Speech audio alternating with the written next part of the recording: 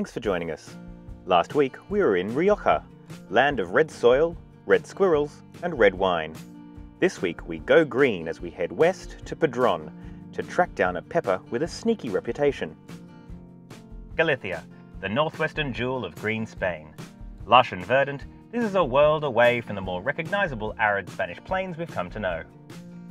And while an Australasian invasion of gum trees has transformed the wilderness to look kinda like that bit of the Pacific Highway near Ku-ring-gai National Park, Galicia retains a truly Spanish flavour, especially when it comes to their obsession with paprika-coated octopus.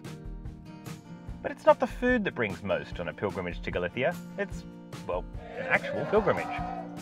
Thousands of Catholics flock from across Europe to walk the famous Camino de Santiago, which concludes in the town of Santiago de Compostela. Just half an hour south is Padron, a small town known locally as a hub for fresh produce.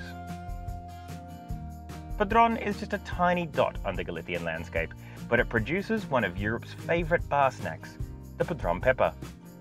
These green chilies are beloved by many because of their fresh bitter tang and a semi-mythical promise that one in ten could be extra spicy, leading to their nickname, the Russian roulette pepper. Hot on its trail, we drove into the even tinier village of Herbon to trace the history of the famous Pimiento de Padron. A sparsely populated village with more vegetables than people, Herbon has plenty of evidence of its spicy history.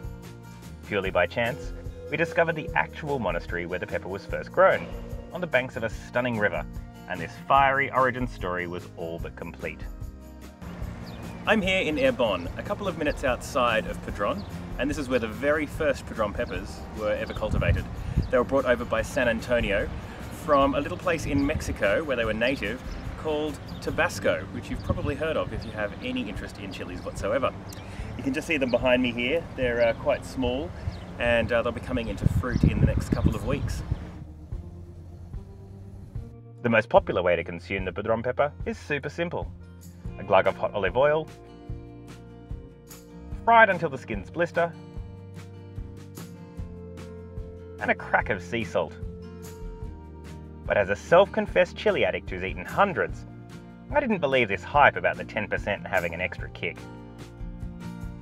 I popped into a pimenteria in Herbon and bought a jar of their extra spicy pepper marmalade to face the heat. So here we have it, the super spicy pimento marmalada. Um, it's like a really spicy chili jam apparently, so I'm going to give it a bit of a taste test and uh, see if it really lives up to its reputation. I'm going to use quite a bit because I am a bit of a chili freak, so I do like things spicy. Anyone who knows me knows that I put chili on pretty much everything, including my breakfast. So this better live up to its reputation. Here we go.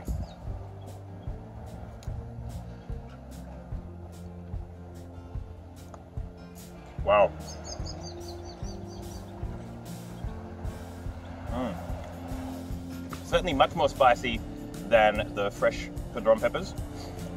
Um, it's got quite a quite a, a, lovely green, kind of grassy, herbaceous uh, tone to it, but um, the spice doesn't linger, which is quite nice. It's uh, almost like um like mustard, for example. The spice doesn't doesn't just uh, hang around for a long time. It's very nice. We'll wash it down with a drop of this Verdejo from Rueda, which is another Spanish wine region. Mm, very refreshing.